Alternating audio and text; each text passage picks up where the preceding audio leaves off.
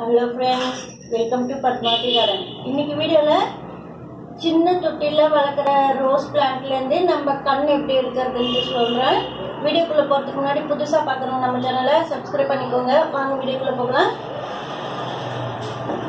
இப்போ இந்த ரோஸ்லேருந்து தான் நம்ம சின்ன தொட்டியில் தான் நான் இது நாட்டு ரோஸ் வளர்த்துருக்கேன் சின்ன தொட்டியில் கூட நல்லாவே வளர்த்து பாருங்கள் ஏற்கனவே நம்ம அடிக்கடி நான் வீடியோவில் காமிச்சிருந்தேன் இருக்கேன் இந்த செடி தான் பூக்கிறப்பெல்லாம் கூட வீடியோ பண்ணியிருக்கேன். இந்த தொட்டியில் வந்து சின்ன தொட்டியில் எத்தனை பிரான்ச்சஸ் இருப்பாங்க இதுலேருந்து நான் கட்டிங்ஸ் பண்ணி இந்த மாதிரி மணல் சேர்ந்த சாயிலில் தான் நான் இது பண்ணியிருக்கேன். அதாவது ரிவர் சாண்டு தோட்ட மண். இந்த மாதிரி கார்டன் சைடில் நடும்போது நல்லாயிருக்கு மணல் சேர்த்துக்கணும் எப்பவுமே. இந்த மாதிரி சின்ன தொட்டிலேருந்து வளர்த்துனே இருக்கும்போது ரொம்ப நாள் அதாவது சிக்ஸ் மந்த் ஆனால் கொஞ்சம் செடி முத்தும். முத்தி போனதுக்கு அப்புறமா அதாவது ரொம்ப நாள் ஆயிடுச்சுன்னா செடி நம்ம கட்டிங்ஸ் கூட ஹெல்ப்பாக இருக்கும். நம்ம எடுத்துட்டா கட்டிங்ஸ் வந்து நட்டு வச்சா வரும். இந்த பாருங்க இதுலேருந்து நம்ம கட் இந்த கிளை வந்து கட் பண்ணிட்டு இதுலேருந்து வச்சிருக்கேன். அதாவது ரொம்ப நாள் ஆயிடுச்சுன்னா நம்ம அந்த கட்டிங்ஸ் எல்லாம் பண்ணால் அதுலேருந்து கிளை எல்லாம் கட் பண்ணி வச்சா வேர் பிடிக்கும். சில டைமில் வேர் பிடிக்காது.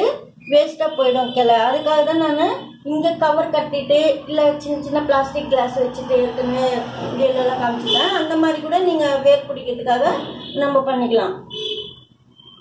இது வந்து ரொம்ப நாளான செடியிலேருந்து நம்ம எடுத்து வைக்கும்போது கண்டிப்பாக வரும். வராமே உங்களுக்கு புதுசாக பண்ணுறவங்களுக்கு வ- வராதுன்னா நீங்கள் இங்கேயே கூட கவர் கட்டிட்டு நம்ம கட்டிங்ஸ் பண்ணிக்கலாம். அதாவது கவர் கட்டிட்டா வேர் பிடிக்கும். நீங்க அதுக்கப்புறமா நீங்க இதுல இருந்து கட் பண்ணிட்டு வேறு வேற பாட்டில் வச்சுக்கலாம். அதே சமயத்துல சாயில் வந்து நீங்கள் நீங்க எந்த சாயில்ல நம்ம இப்போ ஒரு கப்புல நீங்க சாயில் வந்து கொட்டிட்டு கார்டன் சாயில் அதுல ரிவர் சாண்டு கலந்து வச்சுக்கணும். கலந்து வச்சுட்டு இப்போ ஏதாவது ஒரு இப்போ நீங்கள் திடீர்னு ஒரு க- இந்த மாதிரி கிளையெல்லாம் கட் பண்ணுறீங்க டக்குன்னு ஒரு பக்கத்தில் ஏதாவது கப்பு தொட்டி அப்படிலாம் இருக்கும்போது நீங்கள் இதில் நம்ம வச்சுக்கணும். அதாவது இந்த கிளை பழிக்குமான் அப்படின்ட்டு வச்சிடுவீங்க. சப்போஸ் அந்த மாதிரி டைமில் வேர் பிடிச்சிடும். அந்த கிளை நம்ம சாயிலில் கூட பார்க்க மாட்டோம். ஆனால் அந்த சாயில் எதில் இருக்குன்னு நீங்கள் தெரிஞ்சுக்கிட்டீங்கன்னா அந்த பாட்டை கூட நீங்கள் கட்டிங்ஸ் பண்ணிவிட்டு இது மாதிரி வச்சிடலாம்.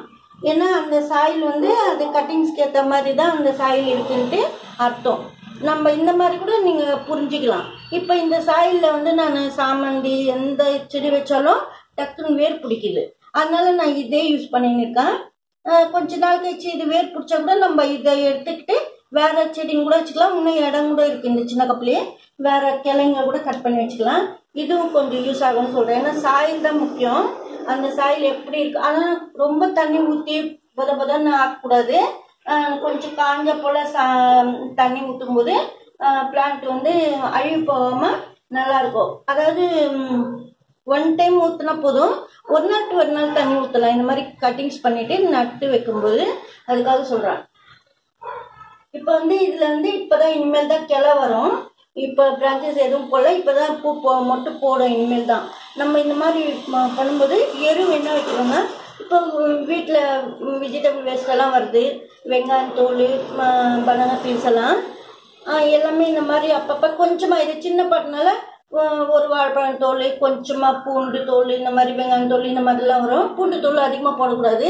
இந்த மாதிரி வச்சுட்டு சாயில் இந்த மாதிரி ஏற்கனவே நிறைய இந்த மாதிரி பண்ணியிருக்கேன் இந்த மாதிரி வச்சிடணும்.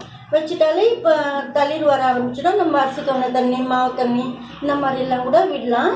பிளான்ட் நல்லா நிறைய பிரான்ச்சஸ் போடும். நிறைய தளிர் போட்டு பூ வரும் நல்லா. அடிக்கடி இது சின்ன பாட்டில் தான் வச்சுருக்கேன் ஏன்னா இந்த மாதிரி பாட்டில் வச்சிங்கன்னா வேஸ்ட்டாக போகாது நல்லாவே வளரும் உங்களுக்கு. கொஞ்ச நாள் கழிச்சு கூட நீங்கள் அதுக்கப்புறமா இதை விட பெரிய பாட்டில் நம்ம நட்டுக்கலாம். கொஞ்சம் கொஞ்சமாக கூட எரு போட்டிங்கன்னா வந்து இந்த செடி இருக்கும். இதில் வந்து ரிவர் சாண்டு கார்டன் சாயிலு கொஞ்சமாக வந்து கம்போஸ்ட் எல்லாம் போட்டு நட்ட பிளான்ட் இது.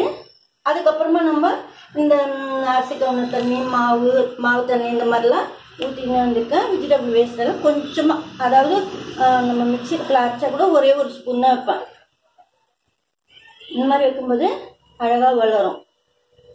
இந்த பாருங்க கொழியரிசி இவ்வளோ அழகாக இருக்குது இந்த கலரு அதே சமயத்தில் இந்த சாமந்தி கூட பாருங்கள் நம்ம ஒரு செடி எந்த செடியும் வளர்த்தாலும் நம்ம இந்த நம்ம இப்போ நான் ஒரு மாதிரி வைப்பேன் சாயில் நீங்கள் ஒரு மாதிரி வைப்பீங்க. ஏன்னா அவங்க உங்களுக்கு வாட்டப்படி சாயில் கிடைக்காது இந்த மாதிரிலாம் தெரியாமல் கூட மாற்றி மாற்றி வைப்பீங்க. அதுக்காக நம்ம லிக்விட் ஃபெர்டிலைசர் அந்த மாதிரிலாம் கொடுக்கும்போது அந்த சாயலுக்கு எது எடுத்துக்கணும் அந்த பார்த்து நல்லா வளரும்போது அதே கூட கொடுத்துக்கலாம். இந்த வீடியோவில் தான் பிடிச்சிருந்தா லைக் பண்ணுங்கள் மறக்காமல் நம்ம சேனலை சப்ஸ்கிரைப் பண்ணிக்கோங்க. நன்றி. தேங்க்யூ